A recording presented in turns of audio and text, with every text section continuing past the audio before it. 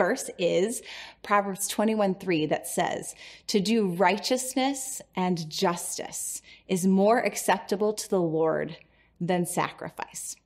So I'm a mom of three kids and a while ago, one of my kids asked if they could go play outside. And I said, sure, just get your chores done and then you can go play. And my child ran upstairs, made their bed, um, put their clothes away, and on their way out, in their haste, body checked their brother in order to get out faster. And I called my child back in and they said, What? I made my bed. I did my chores. And I said, I don't care about your made bed right now. I care about your heart. Loving your brother matters in our house.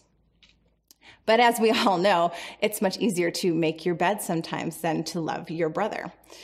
Oh, throughout all of scripture, God has cared about our hearts, about our relationship with Him and our relationship with others, far above the religious performance or approval of men or obeying the rules. My child can make their bed all they want, but if they don't love their brother, then it doesn't matter to me. And if I'm honest, it's easier to look the part than to have the right heart. So when we read the scripture today, we, we ought to stop in our tracks and have a heart check.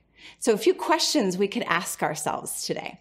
Am I doing justice because it looks good to the world right now? Or am I doing justice because I'm seeking the pleasure of the king?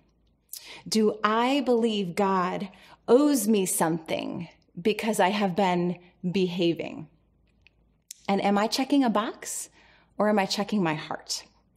Oh, friends, I am in as much need of a heart check as anybody else.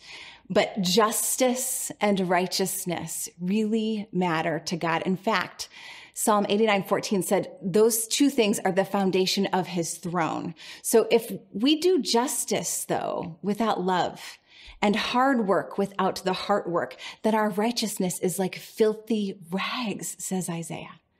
So today, when it comes to bringing rightness to our broken world and to doing justice, may we be a people who commit to the heart work as much as the hard work. Or as author Ashlee Eiland says, the hidden work is the heart work is the hard work.